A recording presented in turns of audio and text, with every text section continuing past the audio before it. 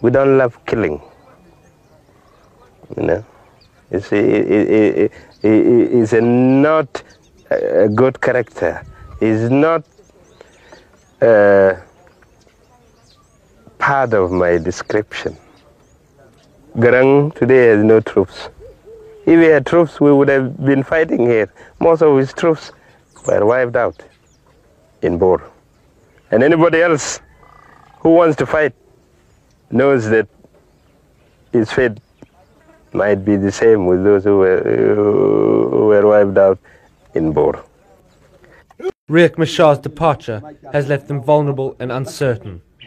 When this incident happened, we could not uh, uh, pull out forces from around Juba because this would be exploited by the enemy. And they did try it, of course.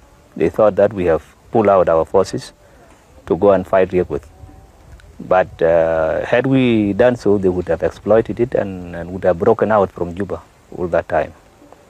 So uh, Riek's betrayal uh, is great. He knows how crucial unity is. Even if I forgive them, they will be known in history as people who stabbed the movement in southern Sudan uh, in the back.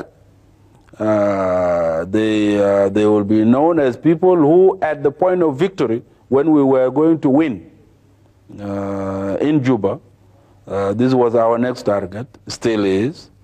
This, they, they, they, they stabbed us in the back. The, the, the people of southern Sudan, the people of the Sudan will judge that.